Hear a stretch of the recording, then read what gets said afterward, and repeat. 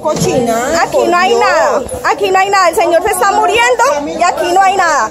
Estamos en la clínica amiga de Cali. El señor venía sangrando hace cuatro horas. Nadie hace nada. Mire, mire. A la gente le da miedo hablar. Mire cómo estamos.